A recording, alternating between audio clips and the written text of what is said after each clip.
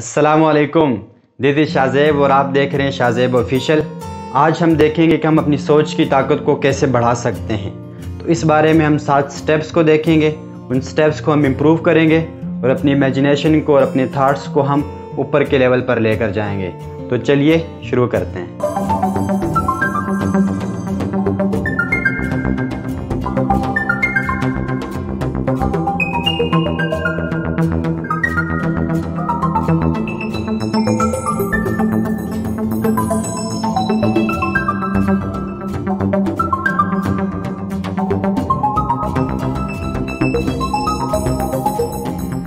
Point ہے thought and character یا تو ہم اپنی پرسنالٹی کو خود بناتے ہیں یا خود ہی بگاڑتے ہیں. کیونکہ انسان کی جیسی تھاٹس ہوتی ہیں، ویسے اس کا کریکٹر ہوتا ہے. جیسے اس کا کریکٹر ہوتا ہے، ویسے اس کے ایکشنز ہوتے ہیں. اور پھر جب کوئی ایکشن انسان لیتا ہے، اس کے بعد جو پھل ہوتا ہے، یا اس کو خوشی کی صورت میں ملتا ہے، یا پھر وہ غمی کی صورت میں ملتا ہے.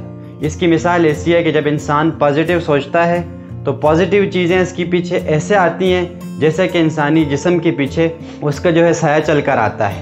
اور جب انسان کی تھاٹس خراب ہوتی ہیں، پھر اس کا ایکشن خراب ہوتا ہے، اور اس کے پاس اس کے پیچھے جو ہے بری چیزیں ایسے چل کر آتی ہیں جیسے کہ ایک بیل کے پیچھے اس کا جو پیچھے حل اس کے پیچھے لگایا ہوا ہوتا ہے، وہ اس کے پیچھے جا رہا ہوتا ہے۔ تو انسان کو ڈائمنڈس اور گولڈس کے پیچھے جانے کے بجائے اپنے تھاٹس کے اوپر محنت کرنی چاہیے۔ اس سے انسان کی پرسنالٹی بھی بنتی ہے، اس کا ایٹیچیوڈ بھی بنتا ہے اور اس کے سارے کا سارا انوائرمنٹ بھی بنتا ہے اور اس کا کریکٹر بھی ٹھیک ہوتا ہے۔ تو تھاٹ کا کریکٹر کے ساتھ بڑا کنیکشن ہے۔ انسان کی جب تھاٹ ٹھیک ہوتی ہے تو اس کا کریکٹر خود بہت ہی ٹھیک ہو جاتا ہے۔ دوسرا پوائنٹ ہے effect of thought on circumstances اس کی مثال ایسی ہے کہ جیسا کہ ایک گارڈنر ہے۔ اگر وہ اپنے گارڈن کا خیال رکھتا ہے، اس کے اندر اچھی اچھی جڑی بوٹیاں اگاتا ہے، اچھے پھل اگاتا ہے، اچھے جو ہے پھول اگاتا ہے، تو اس کا جو باغ ہے وہ ہرا بھرا رہے گا۔ اس کے اندر آئے گا وہ، تو اس کے دل خوش ہو جائے گا۔ اگر وہ اپنے باغ کا خیال نہیں رکھتا، تو اس باغ کا جو ماحول ہے وہ خراب ہو جائے گا اور وہاں خود بہت یہ جڑی بوٹیاں اگنے لگ جائیں گی اور بہت سارے ایسے پودے اگائیں گے، جس کی وجہ سے سارا کا سارا ماحول خراب ہو رہا ہوگا۔ کہ انسان کی جتنی بھی یہ کنڈیشنز جو باہر سرکمسٹانٹس بنی ہوئی ہیں نا تو یہ انسان کی ڈیپینڈ کرتی ہے انسان کے اندر کی انر کی سچویشن کے اوپر۔ کیونکہ یہ جو سرکمسٹانسز ہوتی ہیں، یہ انسان کی پرسنالٹی کو بناتی نہیں ہے بلکہ اس کو ریویل کرتی ہیں ایکسپوز کرتی ہیں۔ کہ یہ بندہ اندر سے کیا ہے؟ اس کے اوپر جس طرح کی بھی حالات آتے ہیں، اس حالات کے اندر جیسے ہی ریئیکٹ کرتا ہے، اس سے پتہ چلتا ہے کہ اس بندے کی تھاٹ پروسیس کیا ہے اور اس بندے کا کریکٹر کیا ہے۔ تو یہ کبھی بھی نہیں ہوتا کہ ایک نیک انسان ہے، وہ اور بڑا اچھی زندگی گزار رہا تھا اور وہ اچانک کسی کرائم کے اندر جو ہے پکڑا گیا۔ نہیں، اس کے پیچھے اس کی کسی نہ کسی جگہ پر اس کے ذہن کے مائنڈ کے اندر یہ تھاٹ آیا تھا کہ وہ یہ کرائم کرے گا۔ اس کے بارے میں اس نے سوچا تھا۔ اور جیسے ہی اس کو موقع ملا، اس کو جو اس کے اپرچونٹی ملی، تو اس نے وہ کرائم کر دیا۔ تو اسی طرح جو ہمارے سرکمسٹانسز ہیں، یہ پرسنالٹی کو بناتے نہیں ہیں، بلکہ اس کو ریویل کرتے ہیں اور اس کو ایکسپوز کرتے ہیں۔ اور جب تک ہم اپنے اندر پہ جو ہے محنت نہیں کریں گے اپنی تھاٹس کے اوپر محنت نہیں کریں گے، تو باہر کا ماحول ہمیں کچھ بھی نہیں کر سکتا، ہمارے لیے وہ کچھ بھی نہیں کر سکتا۔ نہ ہمیں ہیلپ دے سکتا ہے اور نہ ہمیں وہ کوئی نقصان پہنچا سکتا ہے۔ اس کی مثال ایسی ہے کہ ایک بہت بڑا جو ہے ویلدی پرسن ہے، اس کے پاس بہت بڑا پیسہ ہے اور وہ بیمار ہے، وہ ٹھیک ہونا چاہتا ہے۔ اور اس نے اپنے علاج کے لیے بہت اچھے ڈاکٹر بھی لے آیا ہے اور اس نے جو ہے انوائرمنٹ بھی بڑا صاف رکھا ہوا ہے اور ہر طرف اس نے اس نے ساری کی ساری فیسلٹیز جو ہے اس نے اپنے آپ کو پرووائڈ کی ہوئی ہیں۔ لیکن دوسری طرف وہ اپنی پسندیدہ چیزوں کو کھانا نہیں چھوڑ رہا۔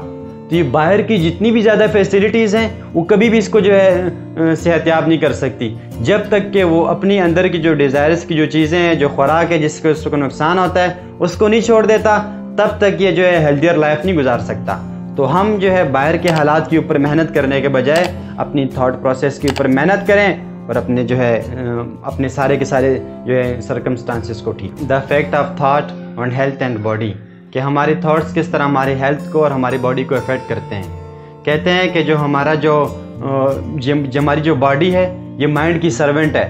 جس جس طرح اس کو مائنڈ جو ہے آرڈر کرتا ہے، یہ اسی اسی طرح جو ہے ایکشن پرفارم کر رہی ہوتی ہے۔ تو آپ نے جو ہے، ایک چیپٹر پڑھا ہو گیا ایف ایس سی کے اندر ایک چیپٹر ہے دا مین ہو واز ہاسپٹل تو وہ بندہ ایسا تھا کہ اس کی سوچ تھی جدھر بھی جس کو دیکھتا کہ اس کے گھٹنوں میں درد ہے، تو یہ بھی یہ محسوس کرتا ہے میری بھی گھٹنوں میں درد ہے۔ اور کسی کو دیکھتا ہے وہ بندہ بیمار ہے، تو یہ کہتا ہے میں بھی بیمار ہوں، مجھے بھی بخار ہے۔ کسی کو دیکھتا کہ اس کو جو انزائٹی ہے، اس کے سر میں درد ہے، تو کہتا ہے، یار، مجھے بھی انزائٹی ہو رہی ہے، میرے سر میں بھی درد ہے۔ تو یہ کراتا کراتا جو ہاسپٹل چلا جاتا ہے اور اپنے ٹیسٹ کرواتا ہے، جب سارے ٹیسٹ کروا کے رہتا ہے تو پتہ چلتا ہے اس کو کوئی بیماری نہیں ہوتی۔ اس کی بیماری اس کی ذہن کے اندر ہوتی ہے۔ کہ اس نے اپنے ذہن کے اندر یہ ایزیوم کر لیا ہوتا ہے کہ جو لوگوں کو جو بیماریاں الگ الگ ہیں، وہ ساری کی ساری بیماریاں مجھے ہیں۔ تو انسان کا مائنڈ جس طرح جو ہے پروسیسنگ کرتا ہے جس طرح سوچتا ہے اسی طرح اس کی باڈی جو ایکشن پرفارم کر رہی ہوتی ہے۔ آپ چاہے اپنی لاکھوں اپنی ڈائٹ چینج کر لیں، آپ کی باڈی کے اوپر جو بھی ذرا بھی فرق نہیں پڑنے والا۔ جیسے ہی آپ اپنے تھاٹ پروسیسنگ چینج کریں گے، آپ کی باڈی کے اندر امپرومنٹ آنا شروع ہو جائے گی۔ تو آپ اپنے تھاٹ پروسیس کو چینج کریں اور اپنے آپ کو جو ہے محسوس کریں کہ میں اس دنیا کا سب سے جو ہے خوش انسان ہوں۔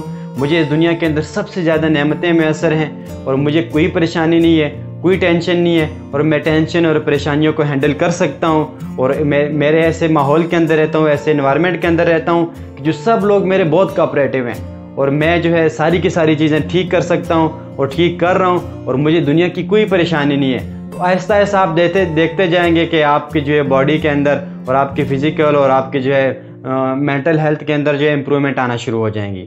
تو آپ کی ساری کی ساری جو ہے باڈی اور ہیلتھ یہ آپ کی ڈیپینڈنٹ ہے، آپ کی تھاٹ پروسیس کے اوپر اپنے تھاٹ پروسیس کو ٹھیک کریں اور اپنی ہیلتھ اور اپنی باڈی کو جو انجوائے کریں۔ چوتھا پوائنٹ ہے کہ تھاٹ اینڈ پرپز جب تک آپ اپنے پرپز کے ساتھ ایک سوچ کو جو ہے شامل نہیں کریں گے، تب تک آپ کچھ بھی بڑی چیز کو جو ہے آپ اچیو نہیں کر سکتے ہیں۔ کیونکہ جب آپ کی سوچ شامل ہوگی آپ کی اس پرپز کے اندر، تو رستے میں آنے والی جتنی بھی مشکلات ہوگی، تو آپ اس کو ہینڈل کر پائیں گے۔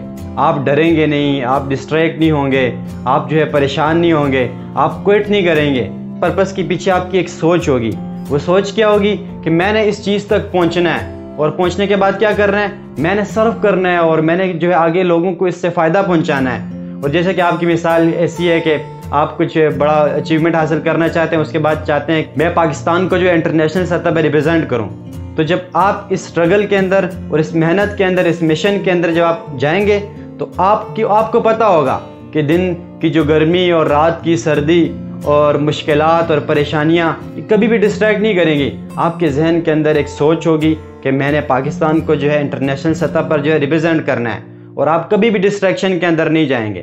اور اس دوران سب سے جو بڑی چیز ہے، جو آپ کی کامیابی کے درمیان دو چیزیں بڑی رکاوٹ ہیں۔ ایک ڈر اور دوسرا جو ہے شک کہ آپ کو ڈاؤٹ ہوتا ہے کہ شاید میں یہ کام کر پاؤں گا یا نہیں کر پاؤں گا۔ جب آپ کی سوچ ہوتی ہے کہ میں نے چیز تک پہنچنا ہے تو آپ کا ڈاؤٹ کلیئر ہو جاتے ہیں۔ دوسرا ڈر ہوتا ہے، کیا ہے میں اس کا کیپیبل ہوں یا نہیں؟ لیکن آپ جب کرنے لگ جاتے ہیں تو آہستہ آہستہ وہ ڈر بھی آپ کا ختم ہو جاتا ہے۔ تو کوئی بھی کام جب آپ شروع کر رہے ہیں، تو اس کے پیچھے ایک مضبوط سوچ کو، ایک مضبوط جو ہے تھاٹ کو اس کے ساتھ انکلیوڈ کریں۔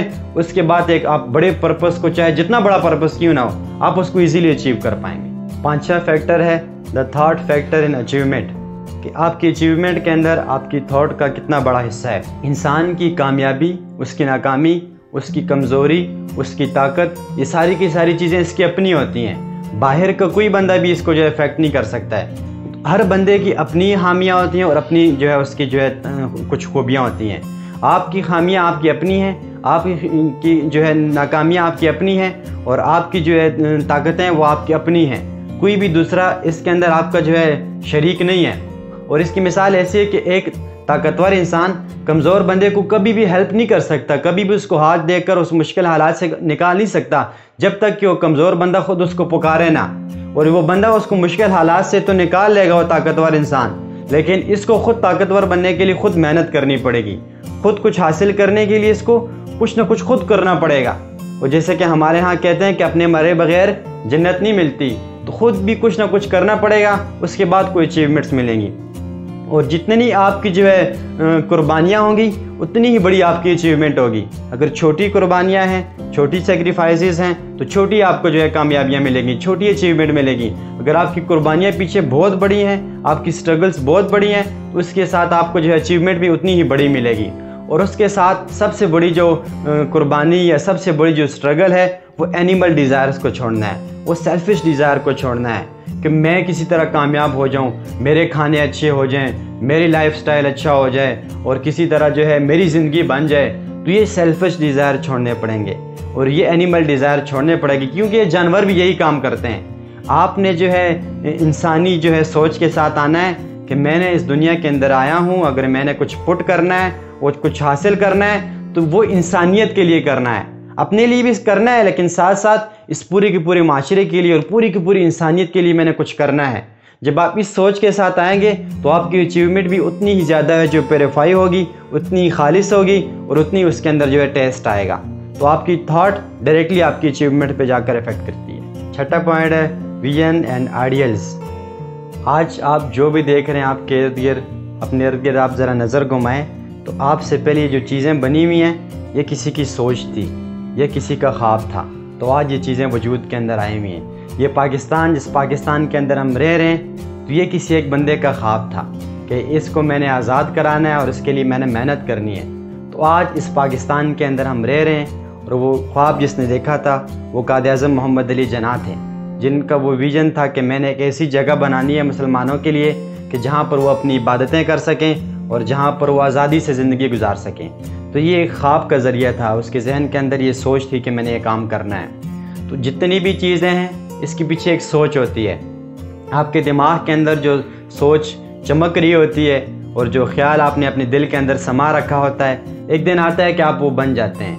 تو اپنے خوابوں کو بڑا رکھیں، اپنی سوچ کو بڑا رکھیں اور انشاءاللہ ایک دن آئے گا کہ اللہ آپ کو اس مقام تک پہنچا دے گا۔ چاہے وہ دنیا کے اندر ہے، چاہے وہ آخرت کے اندر ہے۔ ہاں آخرت کے اعتبار سے بھی اپنی سوچ کو بڑا رکھیں کہ اللہ نے جو جنت بنا رکھی ہے، میں نے اس بڑی سی بڑی جنت تک جو ہے پہنچنا ہے۔ اس جنت کا جب آپ سوچیں گے، اس کا خواب اپنے دل کے اندر رکھیں گے، تو آہستہ آہستہ آپ اس طرح کے اعمال کرتے جائیں گے اور اس طرح کے ایکشنز کرتے چلے جائیں گے۔ اور جو ساتواں پوائنٹ ہے، وہ ہے سرینٹی یہ مطلب کہ آخری حد ہے کہ آپ کے جو ہے سوچ کے بعد کریکٹر کے بعد آپ ایک ایسے انسان بن جاتے ہیں کہ آپ ہر ماحول کے اندر اور ہر حالات کے اندر آپ سروائیو کر رہے ہوتے ہیں اور آپ کول ہو جاتے ہیں اور مائنڈ کے اعتاب سے آپ سٹیبل ہوتے ہیں۔ ہر کوئی جو ہے آپ کے ساتھ جو ہے دوستی کرنا چاہتا ہے، آپ کے ساتھ کمیونیکیٹ کرنا چاہتا ہے، آپ کے ساتھ چیزوں کو شیئر کرنا چاہتا ہے۔ اور یہ ساری چیزیں اس وجہ سے، کیونکہ ان کو پتہ ہوتا ہے کہ یہ انسان ہمیشہ فائدہ ہی دے گا دوسروں کو۔ آپ اپنے لیے بھی فائدہ کے ذریعے بنیں گے۔ آپ کی اپنی جو ہے باڈی مینٹل ہیلتھ آپ جو ہے کول رہیں گے پیسفل رہیں گے۔ اور دوسرے لوگوں کے لیے بھی جو ہے آپ جو ہے کول اور کام رہیں گے۔ اور ان کے لیے آپ کچھ نہ کچھ جو ہیلپ کل جو ہے وہ آپ کرتے رہیں گے۔ تو یہ جو آپ کو میں نے ساری باتیں بتائیں، یہ سات پوائنٹس یہ بک سمری تھی۔ As a man thinketh by James Allen کی طرف سے۔ اگر آپ نے اس کا ریویو نہیں دیکھا، تو اس کا ریویو اوپر میں نے جو انفو کارڈ میں دے دیے، وہ بھی جا کر دیکھ لیں۔ اور انشاءاللہ ہم ملتے ہیں نیکسٹ بک ریویو کے اندر۔ اور ہاں تھینکس فار واچنگ اور جاتے جاتے جو ہے پانچ سیکنڈ دیں۔ اور نیچے جو ہے بیل آئیکن کو دبا دیں چینل کو سبسکرائب کر دیں۔ اور لائک بھی کر دیں۔ انشاءاللہ ملتے ہیں نیکسٹ ویڈیو کے اندر۔ اللہ حافظ۔